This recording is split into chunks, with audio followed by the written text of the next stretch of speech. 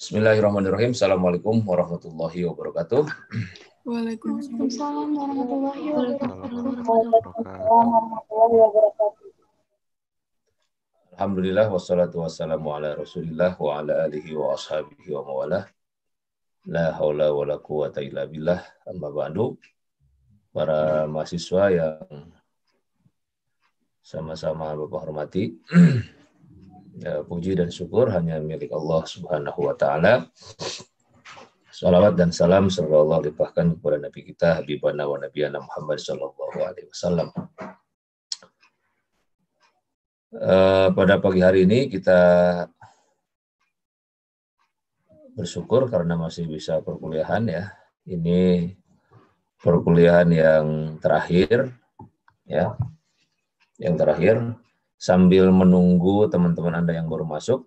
Ya, nanti kalau sudah ada seratusan, Bapak akan jelaskan bagaimana teknik ujian akhir ya. Teknik ujian akhir. Ya. Uh, sebelumnya saya Bapak ingin menyampaikan apakah uh, dosen-dosen yang lain sudah menyampaikan informasi soal ujian akhir? Coba dibuka motor. Sebagian, Pak. Ada sebagian, Pak. Ada, Ada sebagian, sebagian, Pak. Saya baru hari Selasa, Pak. Ya. Baik, uh, hari ini mungkin Bapak akan menyampaikan bagaimana teknis ujiannya, tapi sebelum sampai ke sana dan nanti di akhir perkuliahan ada eh dan perkul dan pembahasan topik diskusi ya pada perkuliahan kita pada pagi ini Bapak juga ingin menyampaikan beberapa hal bahwa eh, saat ini ya kita memasuki masa-masa yang eh, yang paling berat ya dalam kehidupan kita sebagai manusia ya dan seluruh dunia ya dan seluruh dunia. Oleh karena itu eh, kita menghadapi perubahan ya. Perubahan yang eh, perubahan perubahan di lingkungan kita yang cukup drastis ya. Perubahan yang cukup drastis. Ya. perubahan yang paling mendasar adalah menjaga jarak. Ya. Kita diminta untuk tidak berkumpul menjaga jarak sehingga kalau anda datang ke tempat keramaian mungkin juga ada perasaan ragu-ragu. Ya ketika bertemu dengan eh, orang-orang di sekitar Anda yang terlalu dekat. Ya. Dulu ketika masa pandemi belum terjadi di Indonesia, ya kita naik lift misalnya ya, lift itu kapasitasnya mungkin 10 orang, kita biasa aja. Ya.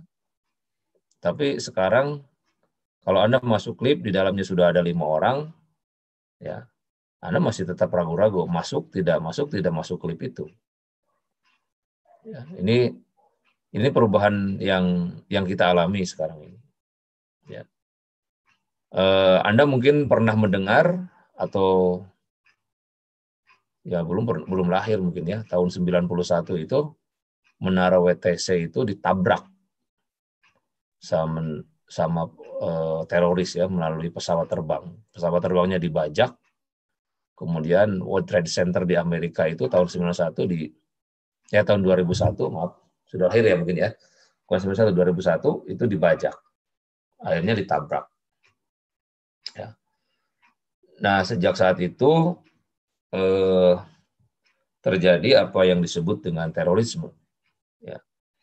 Dan apa perubahan dalam kehidupan kita pada masa itu adalah eh, kita melihat betapa banyak uh, sejumlah pemeriksaan berlapis ketika masuk bandara, termasuk juga masuk fasilitas-fasilitas umum seperti hotel. Ya. Jadi pemeriksaannya itu berlapis sampai bertiga kali ya di bandara itu untuk memastikan bahwa tidak ada lagi serangan teroris. Ya. Dan itu kan akhirnya jadi biasa aja gitu kita menghadapi Pertama-tama mungkin nggak biasa, akhirnya lama-lama kita biasa ya menghadapi itu. Masuk hotel sama berlapis juga pemeriksaannya ya, ada detektor di hotel-hotel bintang 5 itu deteksinya ada dua kali ya. Tasnya diturunkan, diperiksa dulu, mobilnya juga sama, begitu. Nah itu eh, hal-hal eh, yang eh, kita dapatkan ya melalui perubahan itu. Nah sekarang juga kita menghadapi perubahan yang sama. Ya. Jadi eh, kita menghadapi perubahan eh, yang besar ya saat ini ya yaitu perubahan di mana eh, apa namanya manusia harus beradaptasi dengan kebiasaan baru. Ya. Nah, sehingga pertanyaannya pertama di saat ini kita dilarang untuk berdekatan atau berkumpul. Sehingga berdampak pada penyelenggaraan dunia pendidikan ya. Sekolah perguruan tinggi itu sama berdampak. Pelayanan-pelayanan umum juga berdampak, transportasi juga berdampak. Ya. Kemudian juga the, apa namanya? Tempat-tempat keramaian, hiburan, pariwisata juga itu eh, dilarang atau dibatasi ya karena eh, menimbulkan kerumunan. Nah, tentu saja hal-hal semacam ini membuat kita harus berpikir ulang untuk menjembatani ya eh, perubahan yang sedang kita hadapi saat ini. Ya, oleh karena itu kita akan bertanya, mungkinkah kita kembali seperti masa-masa sebelum pandemi? Bersalaman misalnya, secara lazim gitu ya. Kemudian ya mungkin cipika-cipiki lah ya berpelukan kan gitu kalau ketemu kan. Nah itu kan lambat laun hal-hal semacam itu eh, menurut Bapak kayaknya tidak akan bisa dilakukan dalam waktu dekat ini. Sekalipun itu misalnya masuk pada konteks atau bagian dari kontak sosial ya. Ya kontak sosial kan itu adalah naluri manusia yang nggak bisa dihilangkan. Ya, nggak bisa dihilangkan. Jadi dengan cara seperti itu manusia sekarang dijeda. Sehingga ya mungkin menghadapi perubahan-perubahan sosial semacam ini akan menimbulkan e, beberapa sikap ya. Ya. Pertama sikap sebagai pemenang ya. Jadi ada yang diuntungkan loh dengan situasi dan keadaan pandemi sekarang ini. Yaitu yang disebut dengan the winner Ya. The winner. Siapa the winner itu? Ya orang yang bisa merespon ya perubahan ini dengan optimisme yang besar. Ya. Apakah Anda bagian di antara salah satu the winner itu? Ya, ya. masing-masing Anda, masing-masing kita semua. Ya. Karena kita menghadapi itu. Jadi the winner itu posisinya adalah yang yang diuntungkan dalam situasi pandemi sekarang ini. Mereka adalah orang-orang yang eh, mampu untuk mengeksplorasi diri, ya, cepat berubah dari zona panik. Ya, kita semua awalnya panik termasuk ya saat ini bisa juga panik ya. Jadi bisa merespon itu, ya. Jadi eksplorasi yang pertama ya. Jadi Anda kemampuan eksplorasi diri, sekarang Anda belajar atau masuk kampus dengan jurusan ilmu hukum, kira-kira mungkin dalam waktu cepat ini ya para dosen juga harus bisa merespon ya. Harus bisa merespon apa yang sedang terjadi dengan mata kuliah yang diampunya. Ya. Sehingga mahasiswa dibekali bukan eh, ilmu-ilmu lama. Ya. Tapi juga merespon perubahan-perubahan baru. The winner juga adalah orang yang uh, bukan orang pintar sebetulnya the winner itu, tapi orang yang mampu merespon lah, yang mampu mencari solusi. Sebab orang pintar sekarang ini menurut Bapak bukan orang yang diukur dengan angka-angka. Ya. Jadi nanti kalau misalnya mata kuliah Bapak Anda nilainya C atau nilainya B, nggak usah putus asa lah, nggak usah sedih. Itu bukan satu-satunya indikator. Ya. Karena hasil riset mutakhir menyebutkan bahwa eh, apa namanya kepintaran orang pintar itu ya orang yang di kampusnya pintar ya nilainya selalu baik juara terus itu dalam kehidupannya relatif tidak berhasil. Ya relatif tidak berhasil. Jadi ini kabar baik bagi anda yang nilainya C kira-kira gitulah. Ya. Atau kabar baik bagi yang IQ-nya biasa-biasa aja lah.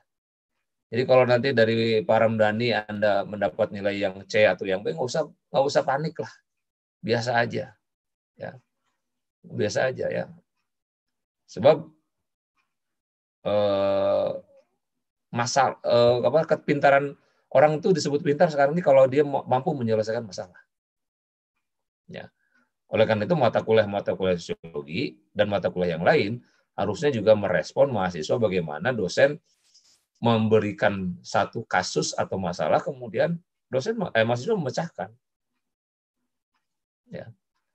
Jadi kalau Anda hidupnya ingin selalu menang terus, selalu berhasil terus, itu hidup ini menjadi nggak indah. Ya. Sosiologi nilainya A, Quran eh, apa namanya mata kuliah bahasa Indonesia nilainya A, PIH nilainya A, semua sempurna nilainya A jadi 4. Semester 2 4, semester 3 4, IPK-nya 4 ya maksudnya. Karena nilainya A semua. Begitu lulus nanti tahun 2024, Anda juga IPK-nya 4 sempurna. Dipanggil pada saat wisuda, eh, IPK-nya 4. Ya. Tapi begitu Anda diteri, melamar pekerjaan, Anda ditolak.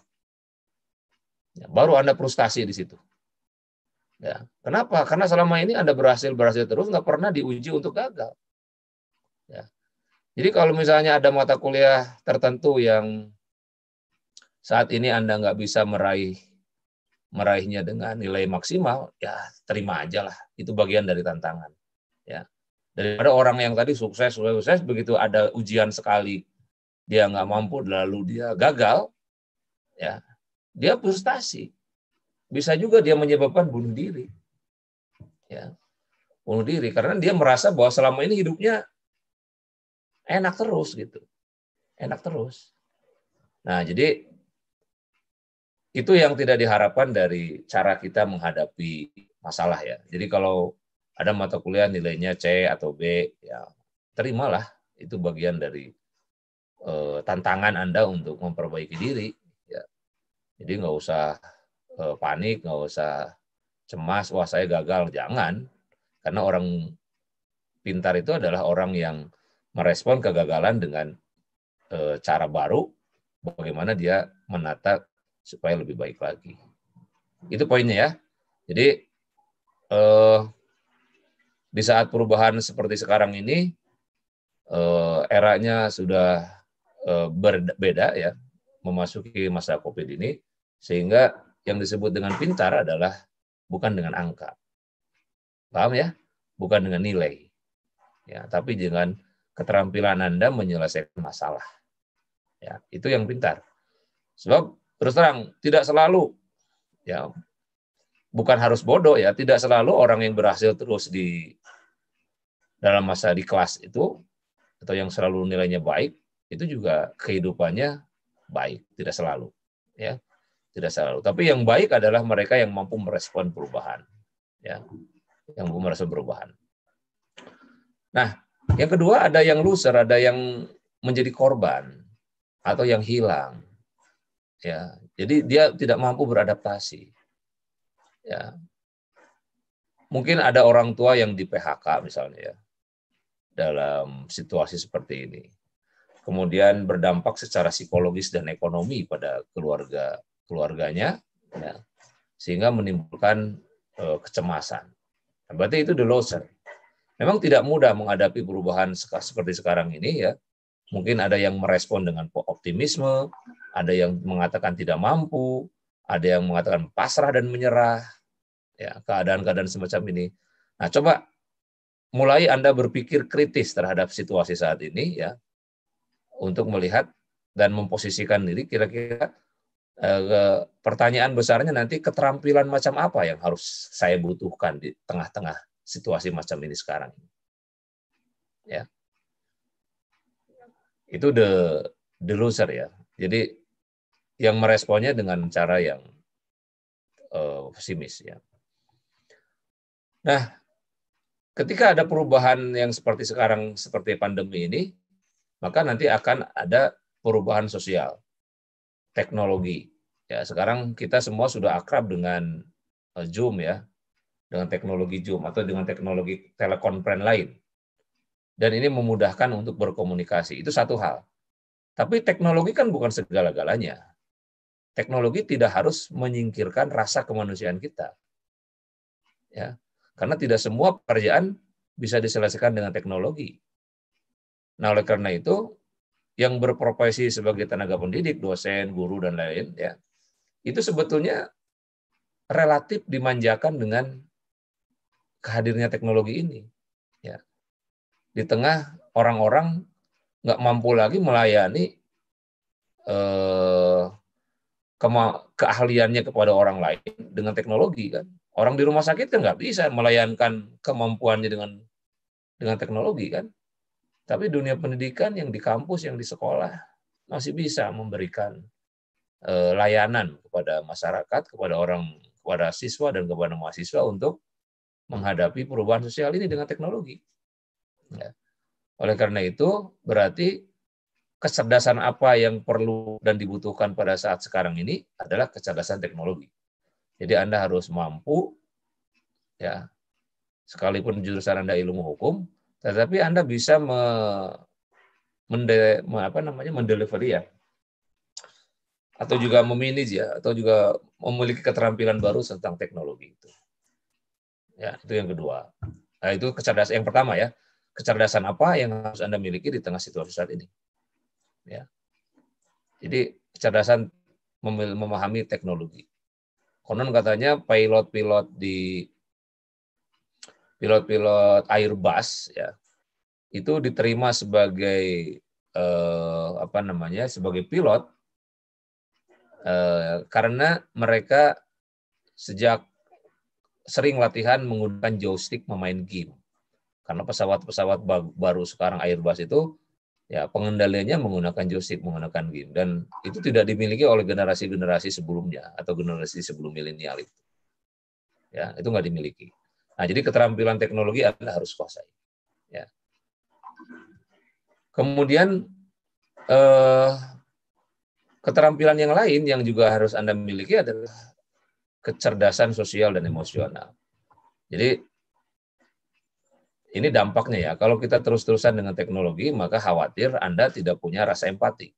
Kita semua nggak punya rasa empati. Kita semua nggak punya kepedulian dengan dengan orang-orang di sekitarnya. Karena kita e, bersentuhan dengan teknologi terus. Nah, jadi memang kita harus menyepakati agar teknologi ini tidak menghilangkan rasa kemanusiaan kita. Ya, rasa kemanusiaan kita. Apalagi di tempat-tempat pekerjaan nanti yang disebut dengan kobot ya. Kobot itu kolaborasi robot. Jadi pekerjaan-pekerjaan yang rutin, yang begitu-begitu aja gitu tiap hari, ya cara kerjanya itu diganti dengan robot. Berarti yang hilang adalah otot, otot manusia. Otot manusia hilang nggak digunakan itu, ya tergantikan dengan robot. Bayangkan kalau semua industri seperti itu. Ada yang disebut dengan in, apa artificial intelligence ya kecerdasan baru ya kecerdasan baru nah itu berarti bisa jadi loh kalau misalnya ini tidak ditahan dengan regulasi ya. Anda yang belajar saja nggak memerlukan seorang guru. Ya. Apalagi dengan cara mengajarnya seperti ini. Tidak ada interaksi dan tidak ada kontak maksudnya. Kontak fisik ya. Kontak fisik. Ya. Yang sekarang sulit untuk dilakukan. Nah, jadi memang teknologi harus ada pembatasan-pembatasan sehingga eh, nilai-nilai kemanusiaan kita masih tetap uh, utuh. Mungkin Anda pernah menyaksikan sebuah tayangan atau film ya, di mana ada seorang bayi, ya mungkin ya di bawah satu tahun lah, ya uh, di bawah satu tahun, kemudian dia nangis, lagi tidur tuh nangis. Nah, kemudian di situ ada bapaknya, ibunya di luar lagi bekerja. Ya. Dia video call dengan anaknya tetap nangis. Ibunya merayunya, membujuknya, kemudian juga ya meresponnya supaya dia tidak apa namanya dia tidak tidak menangis ya tetap nangis. Ya. Artinya apa? Teknologi tidak bisa menjawab itu. Ya tidak bisa menjawab itu. Nah oleh karena itu ketika mulai sama suaminya atau bapaknya mulai disentuh si anak bayi itu disentuh perlahan-lahan diangkat diangkat digendong ya akhirnya dia berhenti. Ya. Pesannya apa? Dari dari peristiwa ini adalah bahwa cinta ya itu tidak pernah bisa menggantikan atau tidak bisa digantikan dengan teknologi. Ya. Jadi kasih sayang, ya kerinduan itu memang nggak bisa dengan cara ngobrol kayak begini, harus ketemu, harus menyapa, ya. Nah itu teknologi bukan segala-galanya, ya. Jadi tidak menghilangkan eh, apa namanya kemanusiaan kita sebagai manusia. Ya. Baik, kecerdasan moral tetap harus dijaga oleh Anda semua sebagai generasi-generasi penerus bangsa ya. Integra, integritas ya, jujur ya. Itu mesti bagian dari yang harus Anda Anda lakukan ya. Kalau kita melihat bagaimana Nabi Shallallahu alaihi wasallam Muhammad ya, di tengah kekacauan moral pada saat itu, itu kan kekacauan moral di zaman jahiliyah itu. Dia tampil berani menunjukkan sikap jujur. Sehingga dengan kejujuran ini menarik seorang wanita kaya namanya Khadijah untuk menjadi istrinya. Ya. Jadi integritas itu bagian dari eh, cara Anda melihat atau juga merespon ya perubahan yang sekarang ini ada. Demikian ya, ini pengayaan lah ya, pengayaan dari bagaimana kita melihat perubahan yang sekarang ini terjadi di tengah-tengah pandemi. Pertanyaan besarnya tadi kecerdasan apa yang harus dimiliki, lalu pekerjaan jenis apa. Ya. Jadi ada work, ada job. Ya, ada work yang hilang, tapi jobnya nggak nggak hilang gitu. Ya, itu beda ya. Bahasa Inggris itu kaya dengan konsep ada home, ada house. Ya, Uh, kalau house itu bangunannya, kalau home itu isi rumah. Jadi kalau ada film Home Alone ya di rumah sendiri berarti di lingkungan rumah dia bukan di house ya, ya bukan di house. Nah sekarang banyak uh, uh, works ya yang hilang tapi jobnya tetap ada ya jobnya tetap ada seperti mengantarkan surat secara langsung itu kan tukang pos eh, apa namanya relatif relatif nggak ada sekarang. Work seperti itu. Tapi jobnya kan tetap ada, job mengirimnya tetap ada. Nah, jadi yang sekarang itu yang digantikan oleh teknologi ini adalah job-jobnya. Worknya hilang. Ya, mengirimkan surat sekarang pakai surel, pakai email. Ya, mengirimkan surat sekarang bisa menggunakan WhatsApp, dipoto dan lain-lain. Nah, jadi pekerjaan untuk ngirim itu hilang, jobnya tetap ada, tapi diganti dengan teknologi ya. Nah, jadi itu PR besar kita semua khususnya Anda yang akan melanjutkan kehidupan ini ya. Di tengah manusia hiruk pikuk eh, merumuskan bagaimana masa depan dunia ini, kemudian beberapa negara sudah mulai survei ke planet lain ya untuk cari kehidupan. Ya. Eh, Abu Dhabi ya, kemudian juga Cina, sudah jelas Jepang ya. Beberapa negara tinggal Indonesia saya belum lihat kapan Indonesia akan survei ke planet lain untuk menjajagi bikin coupling ya, bikin coupling di dunia baru karena dunia sekarang keadaannya seperti seperti ini. Ya, sudah seperti ini. Nah, tentu saja di atas semua itu apa yang saya tadi bicarakan ya, yang paling besar dan paling atas itu harus digarisbawahi adalah kecerdasan spiritual. Ya. Kecerdasan spiritual ya. Jadi kesadaran spiritual ini adalah pandanglah apa yang terjadi ini atas kuasa Allah. Ya. Yakinlah bahwa apa yang terjadi dengan musibah ini adalah kuasa Allah. Itu spiritual. Ya. Kita berusaha sehebat mungkin pun hasilnya Allah yang tentukan. Itu kecerdasan spiritual. Ya. Supaya Anda tidak terjebak dengan rasa tadi, rasa takut. Ya, jangan takut. Ya, sebab kehidupan ini kan ada batasnya. Ya. saya takut virus. Jangan takut. Ya, harus dihadapi. Ya, harus dihadapi. Karena hidup ini ada batasnya. Ya, batasnya hidup ini ada kematian. Ya, batasnya kematian. Batas kesedihan itu kesabaran, batas kebahagiaan itu kesyukur, ya, rasa syukur. Nah, itu kecerdasan spiritual yang harus dimiliki oleh para mahasiswa UIN ya, Universitas Islam ya, ada Islamnya itu. Universitas Islam jadi kalau jadi Anda jadi advokat pun advokat yang syariah ya. Jadi hakim pun adalah hakim yang syariah ya. Jadi jaksa pun harus beda dengan jaksa-jaksa yang non syariah. Anda harus memiliki kecerdasan spiritual. Kecerdasan spiritual ini di atas segala-galanya. Untuk melihat bagaimana cara pandang Anda, mindset Anda terhadap eh, apa yang sekarang terjadi. Sehingga kita tidak terlalu cemas, kita terlalu khawatir, kita terlalu tidak terlalu depresi, karena semua ini adalah sudah Allah atur ya untuk kehidupan manusia saat ini ya. Jadi kuncinya ada di situ. Baik, sebelum nanti diskusi ya eh, Bapak ingin menjelaskan dulu soal teknis ujian ya. Ini yang tidak hadir hari ini ya harus dilihat nanti di YouTube di menit keberapa nih Bapak menjelaskan soal ujian ya. Tolong disampaikan ke rekan-rekan yang tidak hadir nih karena baru 83 orang. Ada sekitar 50 orang. Meskipun kemarin ada di kelas D itu yang mengundurkan diri satu orang ya. Udah satu atau dua ya di di kelas mana saya lupa. Tapi di kelas D kemarin ada yang mengundurkan diri dari sebagai mahasiswa ilmu hukum ya. Karena dia lanjut studi di tempat lain ya Uh, saya juga nggak tahu apakah yang 50 orang juga ini rame-rame ada pindah ke tempat lain ya karena jumlahnya hanya 82 orang yang hari ini bergabung. Ya. Uh, yang lainnya tidak tahu uh, mereka ke mana. Nah, uh, untuk ujiannya uh, silakan saudara baca topik tentang institusi, institusi sosial. Ya, satu itu yang kemudian yang kedua baca juga topik soal solidaritas sosial. Yang ketiga Anda baca juga soal gender.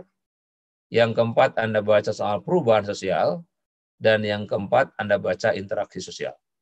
Ya.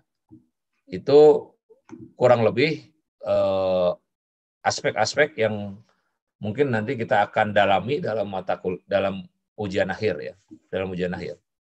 Nah, teknis ujiannya itu lisan. Ya, diuji secara lisan. Nah, kapan tanggalnya, Pak? Tanggalnya nanti saya Bapak sampaikan di grup WhatsApp masing-masing kelas. Ya. Tapi teknisnya dari sekarang Bapak sampaikan ujiannya nanti setiap satu soal itu dikirim ke WhatsApp. Soal nomor satu, bla bla bla bla bla bla bla. Ya. Setelah itu Anda jawab melalui voice note Oke, melalui voice note di WhatsApp, ya dalam waktu satu menit setengah. Ya, jadi dalam waktu satu menit setengah Anda sudah selesai menjawab soal itu. Ya, jadi ujiannya lisan berarti kan? Ujiannya lisan. Pertanyaannya dikirim, langsung Anda rekam voice note-nya, kirim dalam waktu satu menit atau satu menit setengah. Ya, satu menit atau satu menit setengah di topik-topik yang tadi Bapak sudah jelaskan. Ya. Nah, itu berlaku untuk tiga soal ya. Atau lah pokoknya ada dua lah. Nanti ada ada polanya, ada nggak tahu berapa soal. Yang jelas ada soal yang seperti itu. Ya, sistemnya voice note. Ada juga soal tulisan. Soal tulis. Ya, jawabannya ditulis maksudnya soalnya dibacakan atau disampaikan lewat WhatsApp, kemudian jawabannya Anda tulis. Nah, yang jawabannya Anda tulis ini dikasih spare waktu kurang lebih 10 menit. Ditulisnya dengan tulisan tangan. Pastikan tulisan tangan Anda ini baik dan bisa dibaca oleh Bapak dan tidak merusak mata Bapak untuk dibaca. Ya. Kan ada tulisan yang aduh kalau dibaca sakit mata saya ini. Ya tolong pastikan tulisannya yang terbaik ya. Widi ya. Rijal.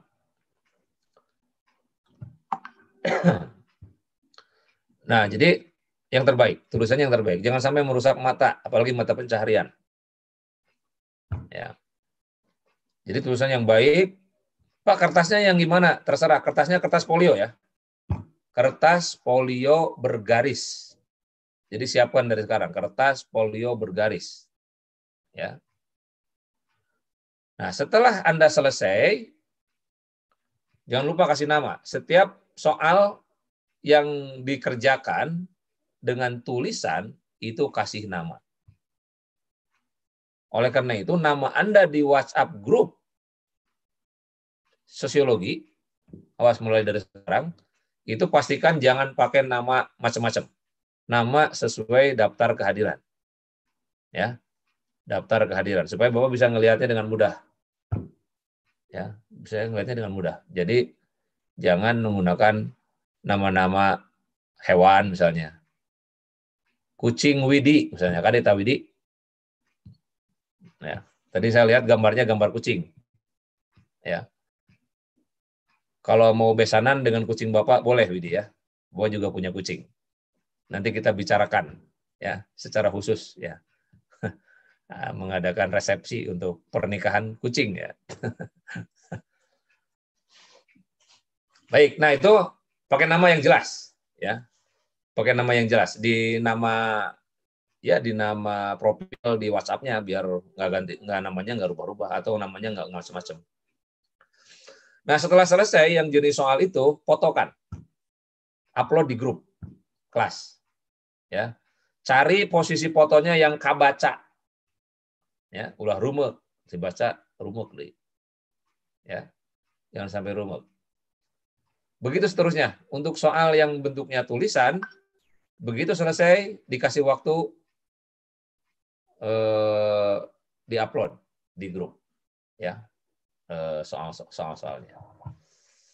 Berapa banyak pak folionya? Cukup lah satu atau dua lembar lah ya folionya, ya cukup untuk diri eh, untuk dikerjakan. Nggak tahu kalau dosen-dosen yang lain menggunakan cara seperti itu, ya silakan saja. Tapi paling tidak untuk mata kuliah sosiologi ada soal yang lisan, ada soal yang tulisan. Ya, untuk yang tulisan medianya menggunakan kertas bergaris. Kertas bergaris ya, entah. Tapi lebih enak pakai polio lah. Kertas bergarisnya polio. Ya. Jangan kertas, jangan buku. Carilah polio ya di tempat Anda. Tempat Anda. Baik, sebelum ke pembahasan diskusi, Ya, kalau ada yang bertanya silakan. Untuk yang terkait dengan soal ujian atau yang pengantar Bapak tadi soal bagaimana menghadapi eh, era pandemi untuk generasi kolonial eh milenial seperti Anda. Ya. seperti Anda. Silakan kalau ada yang mau merespon dua hal ini sebelum nanti kita melanjut untuk diskusi.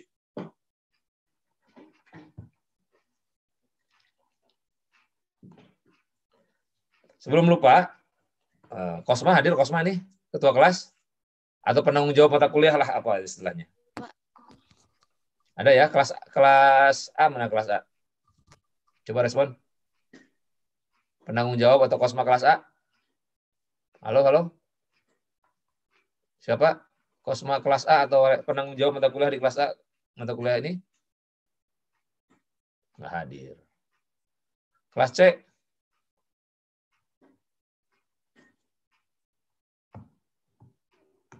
Ini ada mahasiswanya apa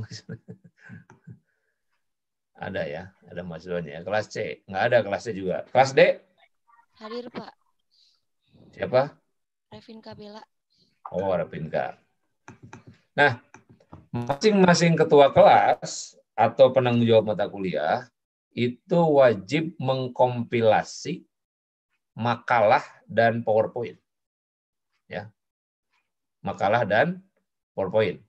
Jadi setelah hari ini selesai, ya kumpulkan di ketua kelas atau penanggung jawab mata kuliah. Setelah itu lalu kirim ke email Bapak. Emailnya ngajar itu ya. n6a7a12 at gmail.com. Ngajar. Ya, kirim ke situ. Ya, setelah perkuliahan berakhir atau sebelum UAS. Ya, sebelum UAS. Jadi setiap kelas ya menyetorkan email eh tugas ya tugas makalah dan presentasi yang sudah dilaksanakan melalui Kosma atau penanggung jawab mata kuliah, kemudian dikirim ke email. Baik, ada pertanyaan sampai sini? Masih tidak ada pertanyaan? Kalau tidak ada pertanyaan, ya kita lanjutkan ke Bapak, Ya, itu yang buat UAS tuh di WA group. Betul di WA group. Nanti Berarti- medianya kita menggunakan eh, WA group. Ya, Berarti WA group pertanyaannya untuk sama dong, Pak. Sama. Jawaban yang beda. Oh, iya iya. Ya, pertanyaannya sama. Silakan Anda jawab dalam waktu satu menit untuk yang ujian lisan menggunakan voice note ya. Jadi begitu Anda baca soalnya, Anda langsung jawab. Saya jawab kirim.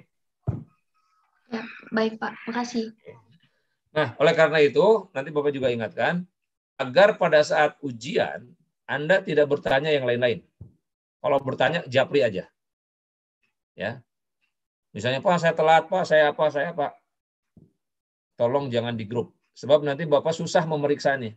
Setelah lagi ujian itu kan nanti Bapak akan periksa tuh. Kalau ketimpa lagi dengan tulisan apa, tulisan apa, pertanyaan apa, susah. Ya. Jadi caranya seperti itu. Yang lain silakan. Ini udah pada sarapan apa belum? Belum sarapan? Belum, Pak. Sarapan dulu dong. Belum. Jangan Belum, Pak, belum. Habis UAS tadi, Pak. Oh, uas apa? Alhamdulillah. UAS UAS? bahasa Indonesia. Oh, udah duluan aja itu uasnya. Eh, Ya, mudah-mudahan eh, tidak terlalu lama lah, mungkin minggu depan atau hari yang sama lah ya Amin. perkuliahannya, eh apa uasnya. Nanti Bapak lihat tanggal lagi ya. Lihat Tanggal lagi. Eh, ini ada kalender di sini nanti kita lihat tanggal berapa nanti diinfokan ya melalui kelas. Jadi pastikan kalau bisa eh, tadi uas bahasa Indonesia gimana modelnya? Eh, dikasih pertanyaan? 5 pertanyaan, 90 menit buat waktunya. Oh, oke. Baik, Bapak juga ada yang lisan, ada yang tulisan ya, eh, model ujiannya. Makanya pastikan eh, setiap pagi ini awali dengan sarapan, jangan dengan senyum. Sebab kalau memasuki pagi dengan senyum, jam salapan geus lapar. Karena Anda can sarapan. ya. Jadi pastikan dengan sarapan, ulah dengan senyum. Awali pagi dengan senyum yang manis, jangan. Jangan diikutin, itu nggak benar. Awali pagi dengan sarapan. ya. Oke, tadi siapa ya yang bagian presentasi? Silakan sekarang presentasi kalau nggak ada pertanyaan lagi ya. Presentasi akhir perkuliahan kita ini, sebagaimana biasa nanti moderatornya merekap ya siapa yang jadi pemakalah, siapa yang bertanya, siapa yang melengkapi dan lain-lain ya di akhir perkuliahan. Dan Bapak tidak akan mengulas mata kuliah atau topik diskusi pada saat ini, Bapak hanya menyimak saja ya silakan Anda komentari. Ya, ada dua sesi pertanyaan. Ya, eh, Bapak nggak tahu di Zoom ada berapa orang nih yang di Zoom. Yang di Zoom ada 28 orang. Ya. Banyak kan di Zoom nih ternyata. 28, di sini 85. Ya, sudah selesai lah. Ini ada seratusan. Nah, jadi eh, silakan siapa tadi yang bagian menyampaikan? Ania ya? Ania. Ania. Silakan Ania. Ya. Di-share gambarnya ya untuk mendiskusikan topik pertukaran sosial. Silakan.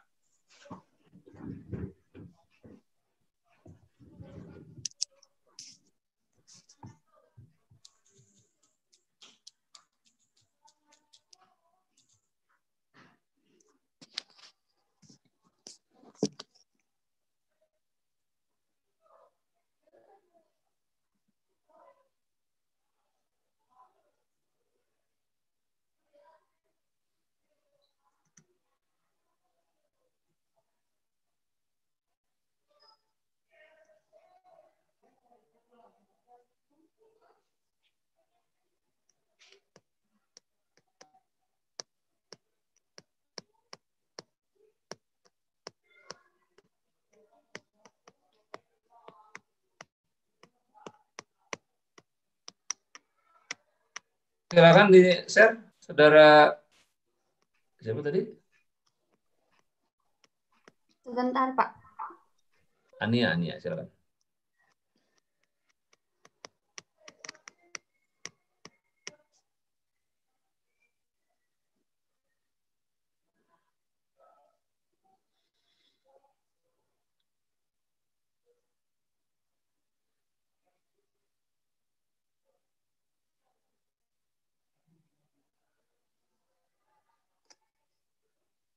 Apa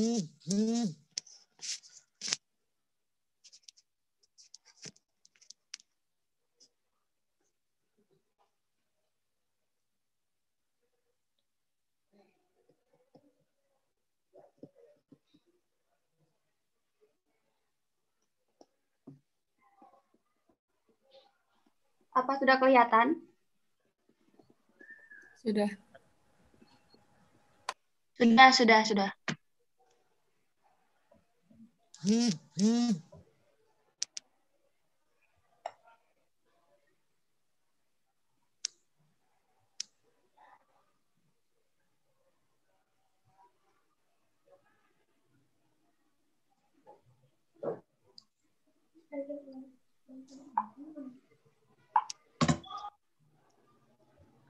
silakan kepada Rian sebagai moderatornya. Baik, Assalamualaikum warahmatullahi wabarakatuh. Waalaikumsalam warahmatullahi wabarakatuh. Perkenalkan nama saya Rian Saputra. Saya sebagai moderator dari kelompok 12. Eh, dengan anggota Ania Oktaliana dengan NIM sekian, Muhammad Reza dari dengan NIM sekian, dan saya sendiri sebagai moderator. Di sini kami akan mempresentasikan tentang teori pertukaran sosial. Baik, langsung saja. Yang pertama, teori pertukaran sosial.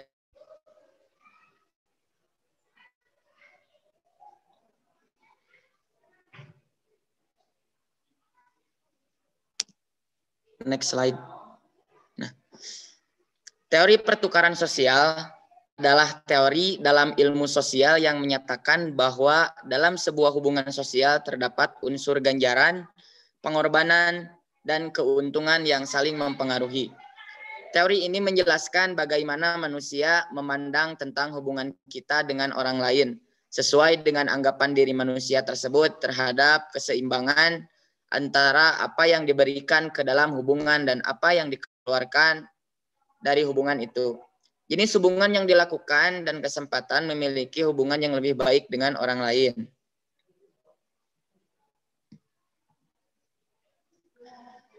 Menurut George Hermans, memandang teori pertukaran sosial dari sudut pandang sosiologi, menurutnya yang dimaksud dengan pertukaran sosial adalah pertukaran kegiatan antara dua orang, baik dapat dihitung ataupun tidak, dan kurang lebih menguntungkan atau merugikan. Homans menitik beratkan pada perilaku individu dalam interaksinya dengan orang lain. Sedangkan Harold Calais dan John Thibault eh, mengungkapkan melalui model pertukaran sosial memandang hubungan interpersonal sebagai suatu transaksi dagang. Orang berhubungan dengan orang lain karena mengharapkan sesuatu yang memenuhi kebutuhannya. Lalu ada asumsi teori pertukaran sosial. Asumsi-asumsi dasar teori pertukaran sosial berasal dari sifat dasar manusia dan sifat dasar hubungan. Yang pertama, asumsi teori pertukaran sosial mengenai sifat dasar manusia eh, ada tiga. Yang pertama, manusia mencari penghargaan dan menghindari hukuman. Pemikiran bahwa manusia mencari penghargaan dan menghindari hukuman sesuai dengan konseptualisasi dari pengurangan dorongan. Pendekatan ini berpendapat berpendapatan bahwa perilaku orang dimotivasi oleh suatu mekanisme dorongan internal. Ketika orang merasakan dorongan ini, mereka termotivasi untuk menguranginya. dan proses pelaksanaannya merupakan hal yang menyenangkan. Untuk yang kedua, ketiga, dan seterusnya akan disampaikan oleh Muhammad Reza. Kepada Saudara Muhammad Reza, dipersilahkan. Terima kasih Rian Saputra. Yang kedua, manusia adalah makhluk rasional. Teori ini menyatakan bahwa di dalam batasan-batasan informasi yang tersedia untuknya, manusia akan menghitung pengorbanan dan penghargaan dari sebuah situasi tertentu, dan ini akan menuntun perilakunya. Hal ini juga mencakup kemungkinan bahwa bila dihadapkan pada pilihan yang tidak memberikan penghargaan, orang akan memilih pilihan yang paling sedikit membutuhkan pengorbanan. Dengan berasumsi bahwa manusia adalah makhluk rasional, teori pertukaran sosial menyatakan bahwa manusia menggunakan pemikiran rasional untuk membuat pilihan. Tiga, Standar yang digunakan untuk mengevaluasi dan penghargaan bervariasi seiring berjalannya waktu dari satu orang ke orang lainnya. Bahwa teori ini harus mempertimbangkan adanya keanekaragaman. Tidak ada satu standar yang diterapkan pada semua orang untuk menentukan apa pengorbanan dan apa penghargaan itu. Next. Selanjutnya, asumsi teori pertukaran sosial mengenai sifat dasar dari suatu hubungan. Yang pertama, hubungan memiliki sifat saling ketergantungan. Dalam suatu hubungan, ketika seseorang ketika seorang partisipan mengambil suatu tindakan, baik partisipan yang satu maupun hubungan, mereka secara keseluruhan akan terkena akibat. Kedua, kehidupan berhubungan adalah sebuah proses. Pentingnya waktu dan perubahan dalam kehidupan suatu hubungan Secara khusus, waktu mempengaruhi pertukaran karena pengalaman-pengalaman masa lalu menuntun penilaian mengenai penghargaan dan pengorbanan. Dan penilaian ini mempengaruhi pertukaran-pertukaran selanjutnya.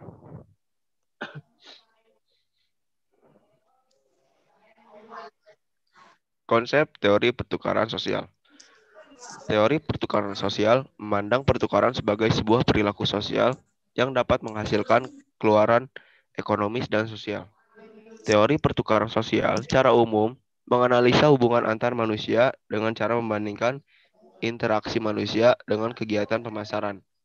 Karena itu, dalam teori pertukaran sosial terdapat empat konsep dasar, yaitu yang pertama, ganjaran.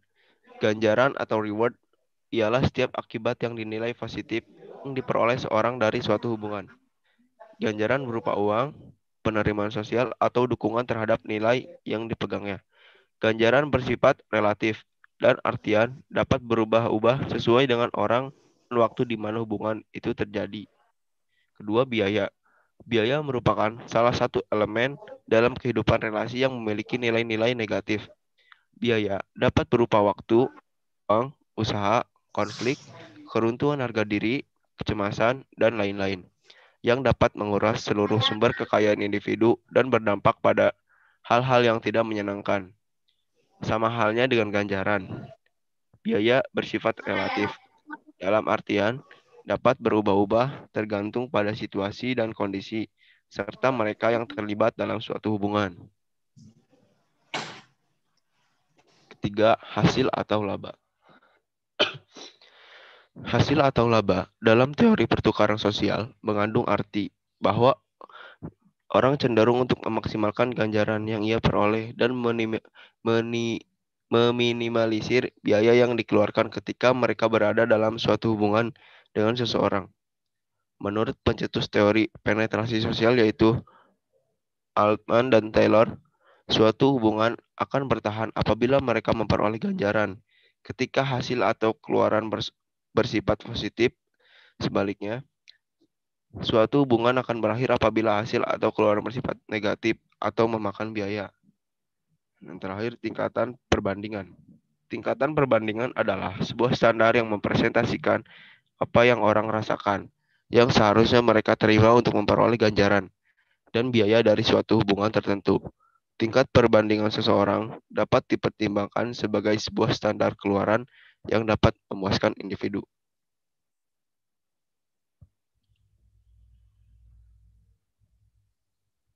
Selanjutnya akan dilanjutkan oleh Saudari Ania.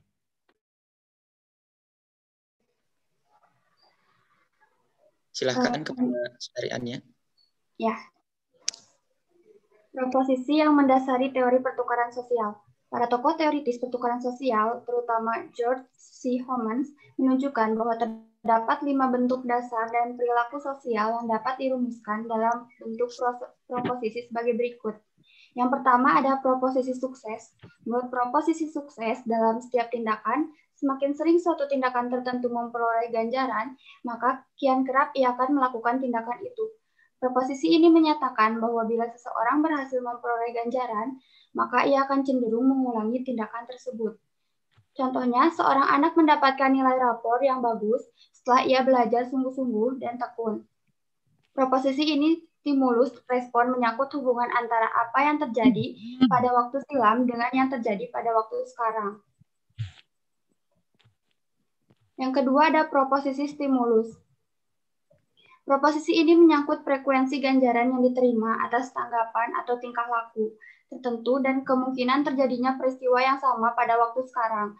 Makin sering dalam peristiwa tertentu tingkah laku seseorang memberikan ganjaran terhadap tingkah laku orang lain, makin sering pula orang lain itu mengulang tindakan tingkah lakunya itu.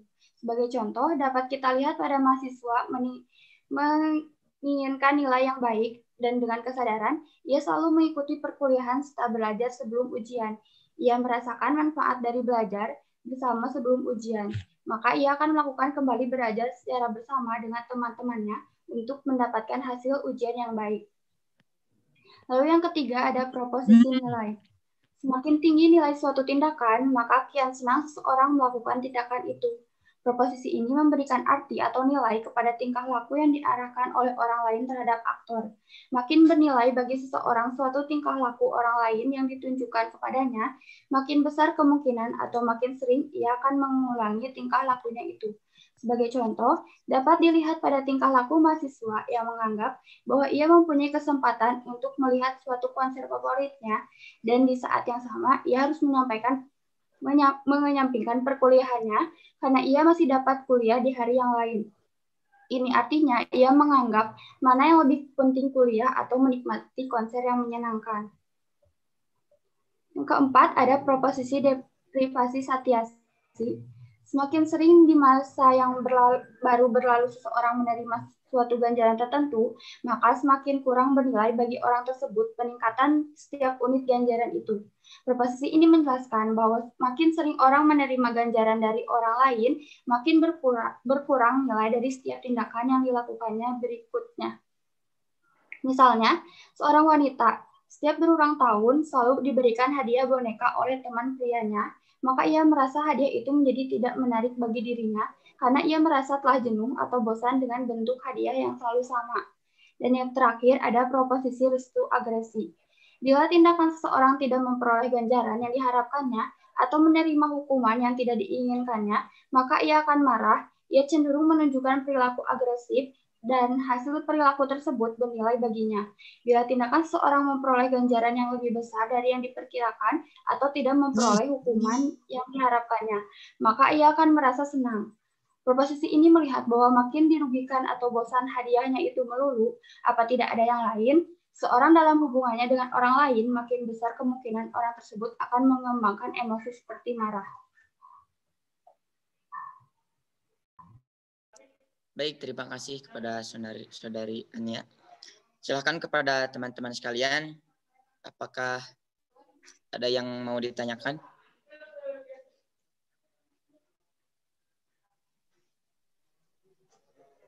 Saya Rian. Ya. Uh, saya. Rapinka. Uh, terdengar. Um, jadi kayak gini, dari tadi teori yang disebutkan oleh kelompok Rian Reza dan Ania, ada uh, beberapa ini ya pendapat menurut para ahli itu kayak Homans dan lain-lain. Menurut kelompok kalian, apakah uh, apa ya akan terjadinya pertentangan mengenai teori pertukaran sosial individualistis dan kolektivistis gitu. Dari apa yang dilihat perbedaan teori gitu. Kasih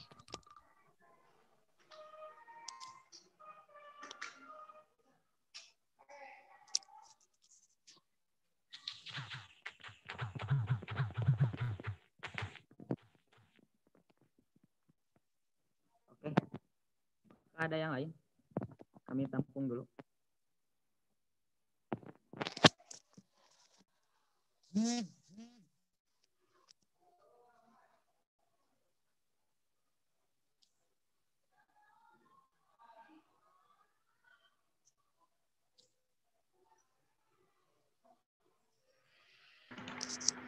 Izin bertanya.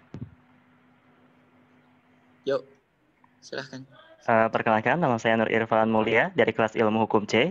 Uh, teori pertukaran sosial adalah teori dalam ilmu sosial yang menyatakan bahwa dalam sebuah hubungan sosial terdapat unsur ganjaran, pengorbanan, dan keuntungan. Lalu, apa contoh dari unsur pengorbanan? Terima kasih.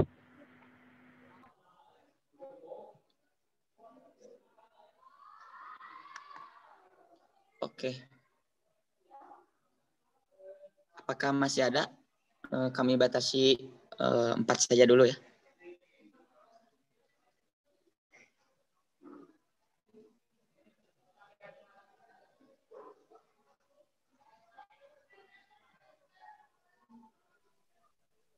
Izin bertanya?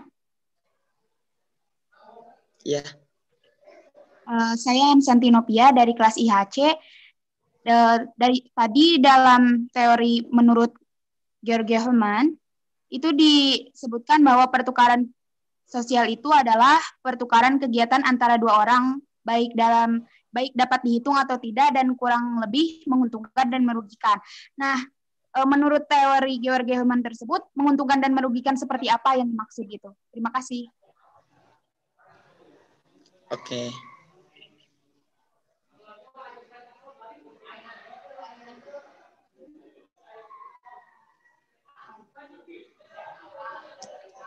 Eh,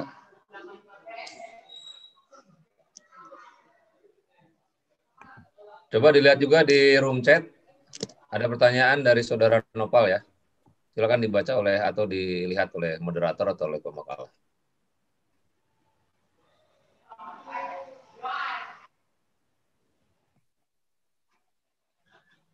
Ya, pertanyaannya, teori pertukaran sosial memandang pertukaran sebu sebagai sebuah perilaku sosial yang dapat menghasilkan keluaran ekonomis dan sosial. Lalu apa contoh dari keluaran ekonomis dan sosial?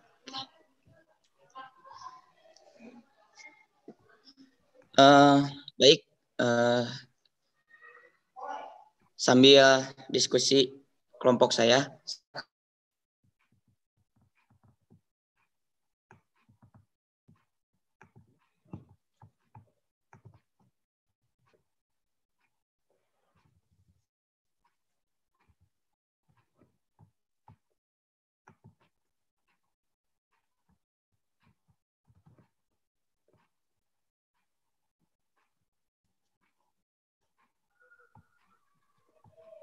ya sambil eh, kelompok kami diskusi saya akan menjawab dari pertanyaan yang Santi. Eh, menurut George Hamans, yang dimaksud pertukaran sosial kegiatan antara dua orang baik dapat dihitung atau tidak dan kurang lebih menguntungkan atau merugikan. Yang disebut menguntungkan atau merugikan di sini seperti pertukaran jual beli. Misal, eh, sebenarnya untung atau rugi itu relatif ya. Tergantung kitanya hmm, sendiri hmm. menerima atau tidaknya seperti itu. Nah, misalkan yang menguntungkan adalah jual beli yang mendapatkan laba atau bati dari hasil eh, perdagangan tersebut. Itu merupakan rugi. Nah, kalau untung eh kalau untuk kalau yang rugi sebaliknya dari keuntungan yang tadi kalau keuntungan itu mendapatkan bati, kalau kerugian uh, malah nombok gitu. Tidak mendapatkan apa-apa dari uh, suatu kegiatan perdagangan tersebut. Atau ada yang barter gitu, tetapi uh, tertipu gitu. Misalkan barter HP bilangnya tidak ada minus tetapi nyatanya pas di pas dicek ada gitu. Nah, itu kan suatu kerugian dalam pertukaran sosial. Gitu. Itu yang bisa saya jawab dari saudari Neng Santi. Apakah sudah jelas?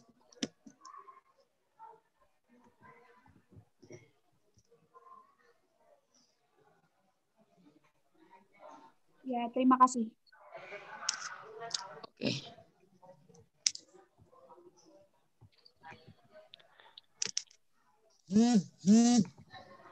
Selanjutnya saya akan mencoba menjawab dari pertanyaan Nur Ipan.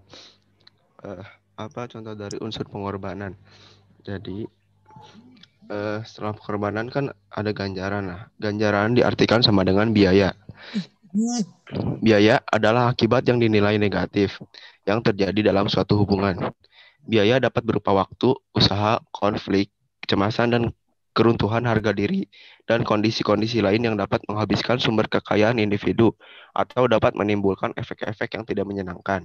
Seperti ganjaran, biaya pun berubah-ubah sesuai dengan waktu dan orang yang terlibat di dalamnya. Eh, mungkin itu jawaban dari saya. Gimana? Baik, terima kasih.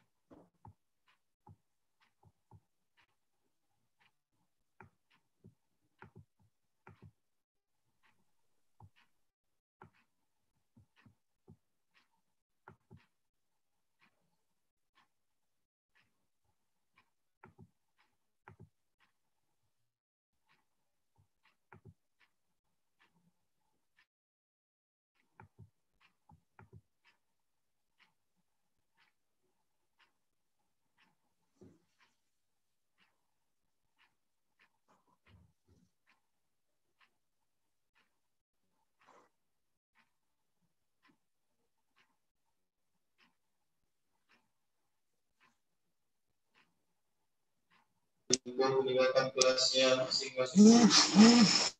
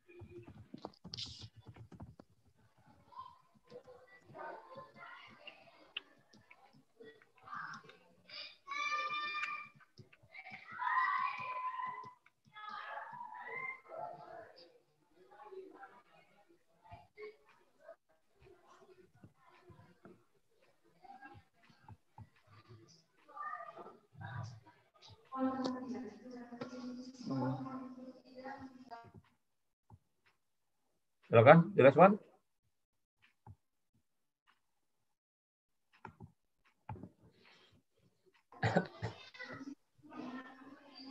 Mana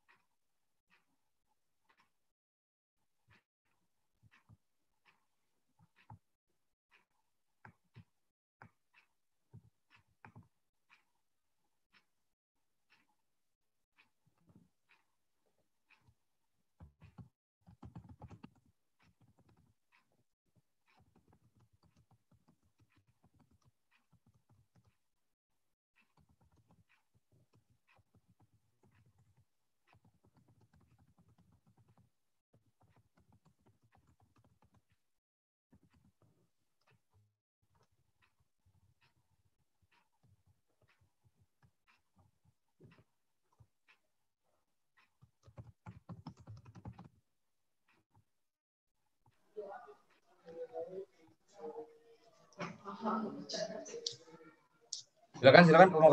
Jangan terlalu lama ini. Direspon. Pertanyaan yang dari room itu bisa diulang? Itu ada di chatnya, coba dibaca, dibaca chatnya tuh. Tadi saya keluar Pak, sinyalnya jelek.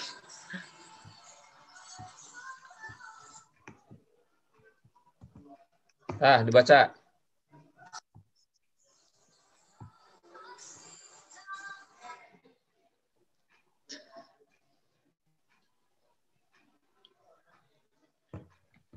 Coba direspon sama yang tidak jelek. Yang cakep. Sok dijawabnya kuno kuno gelis lah, kuno gelis, kuno kasep sinyalnya.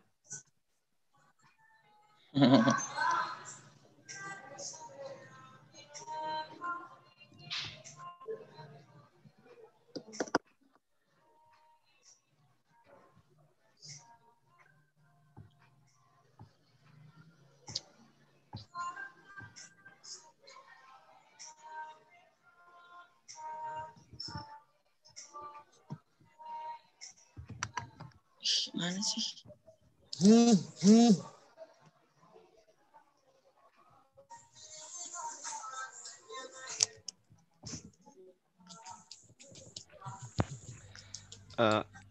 saya akan menjawab pertanyaan dari Bella.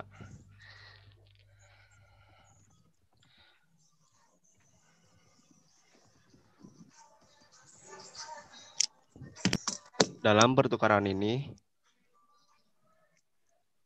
memberikan dampak pada integrasi dan solidaritas kelompok-kelompok yang lebih besar dengan cara yang lebih efektif. Tujuan utama proses pertukaran ini adalah tindak tidak untuk memungkinkan pasangan-pasangan yang terlibat dalam pertukaran itu untuk memenuhi untuk memenuhi kebutuhan individualitas individualistisnya akan tetapi untuk mengungkap- mengungkapkan komitmen moral individu tersebut pada kelompok. Eh, mungkin itu yang bisa saya jawab, Bella. Eh, Terima kasih Reza. Cukup.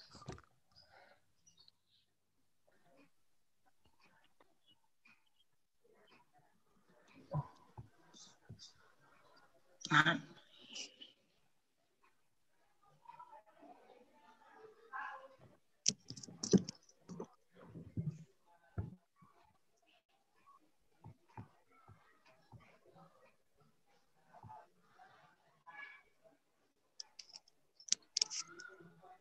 Eh, baik, saya akan menjawab pertanyaan dari Nova yang di room chat. Teori pertukaran sosial memandang pertukaran se- sebagai sebuah perilaku sosial yang dapat menghasilkan keluaran ekonomis dan sosial. Contoh dari keluaran ekonomis itu yang berhubungan dengan ekonomi seperti tu- tukaran uang. Kalau sosial ya seperti berinteraksi sosial mungkin itu juga suatu pertukaran yang eh, hasil dari pertukaran sosial. Eh, mungkin itu yang bisa saya jawab.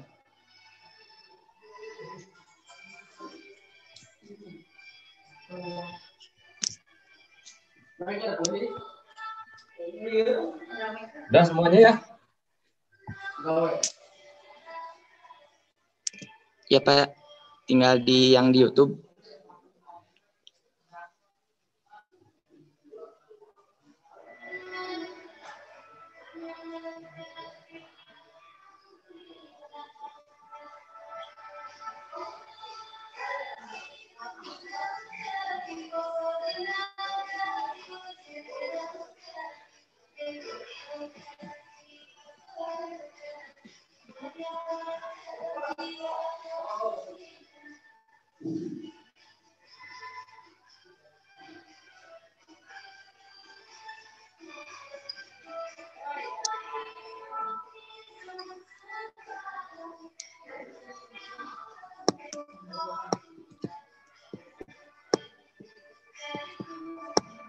Mm-hmm. Mm-hmm.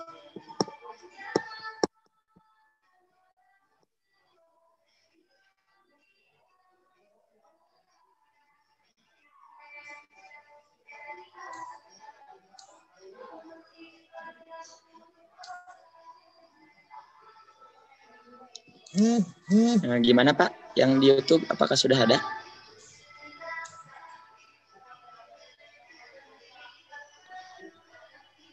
Pak, untuk yang di Zoom udah semua dijawab, Pak.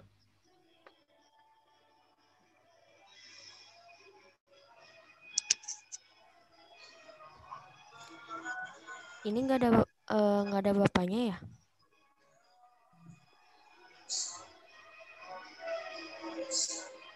Iya, hostnya jadi Ania juga. Nah, udah ada. Ada, udah, udah ada.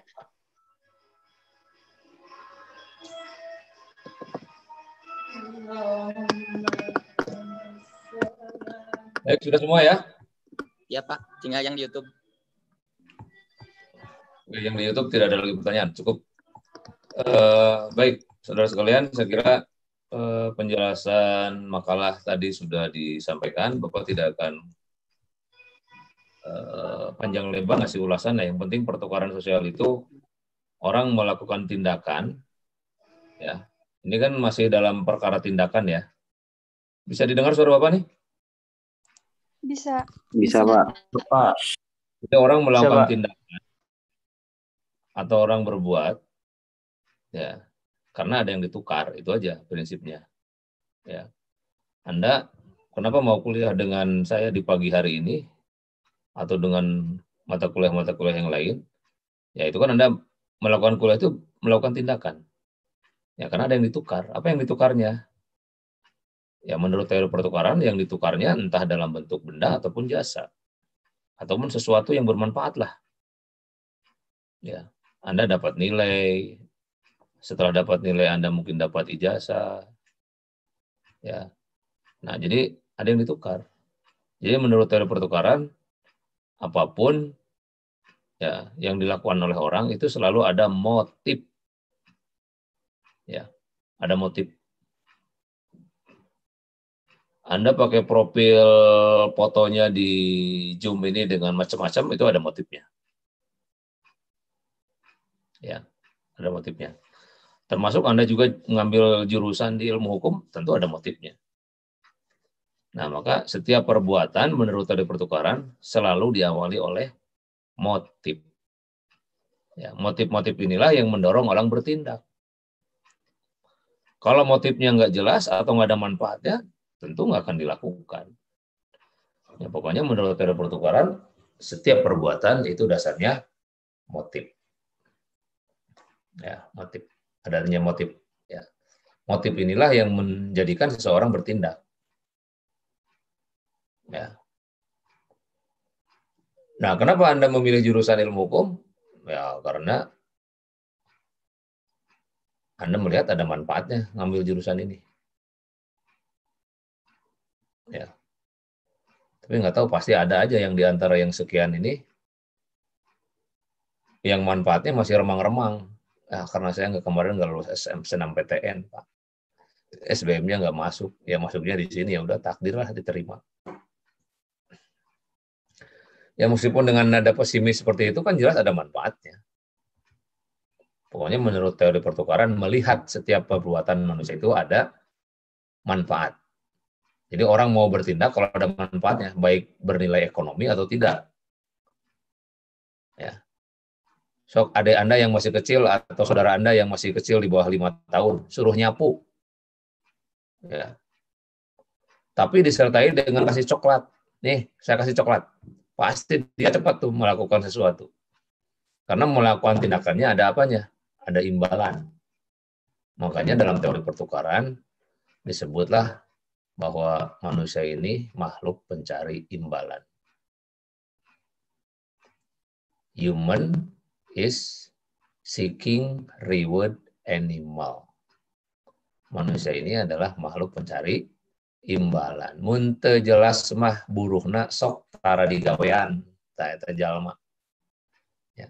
Makanya di Quran jelas tuh harus beriman, harus puasa, la'alakum tatakun. Yang bertakwa masuk surga. Jelas buruhna kan?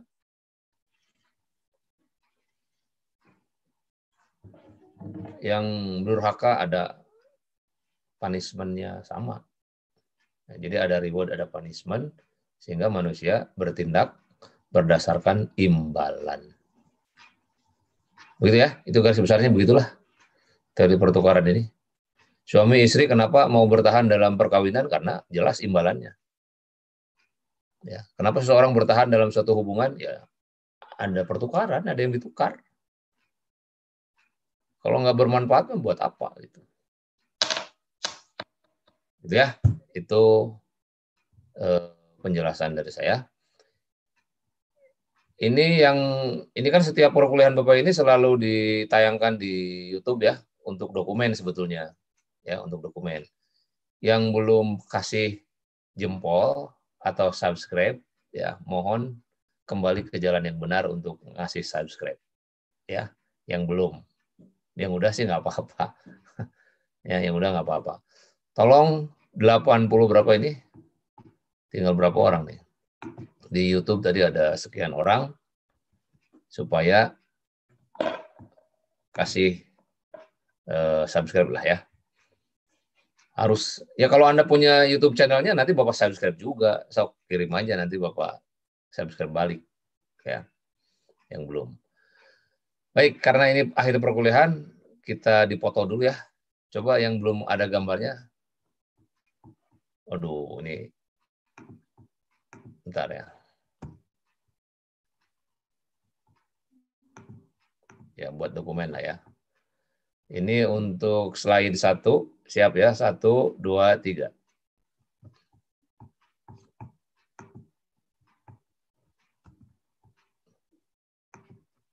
Bentar ya, satu, ini untuk slide yang satu.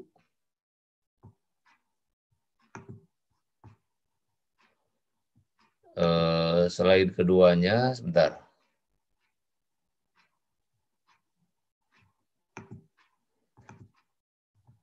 yang tidak bisa on kamera, ya nggak apa-apa lah. Karena mungkin sinyalnya yang kurang cakep. Oke, satu, dua, tiga. Kita tahan dulu. Untuk yang slide ketiga. Oke, siap. Satu, dua, tiga.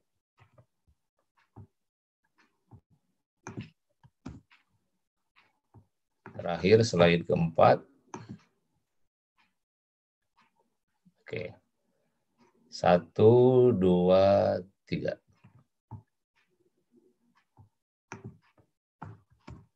Baik, uh, demikian ya perkuliahan kita pada hari ini.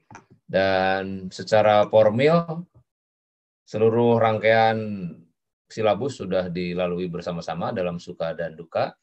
Ya, sukanya kita bisa bertemu meskipun tidak langsung, dukanya ya soal sinyal lah yang luplok ya. Itu duka kita semua yang tidak bisa lihat kamera dan sebagainya, yang keluar masuk terus, nah itu duka kita melaksanakan perkuliahan secara daring. Ya. Eh, mengakhiri perkuliahan ini Bapak tidak akan minta maaf kepada Anda semua, karena orang yang memberi lebih baik daripada yang meminta. Jadi mohon diberi maaf aja ya apabila ada kekeliruan dalam perkuliahan kita ini ya saya berharap Anda jadi orang yang sukses ya mulai dari absen nomor A sampai Z ya dari kelas A, C dan D ya yang bersama-sama mengikuti perkuliahan ini menjadi orang yang sukses, urusannya dimudahkan ya dan sehat selalu. Amin. Terima kasih atas kehadirannya. Mohon maaf atas segala kekurangan. Bila itu Assalamualaikum warahmatullahi wabarakatuh. Waalaikumsalam warahmatullahi wabarakatuh.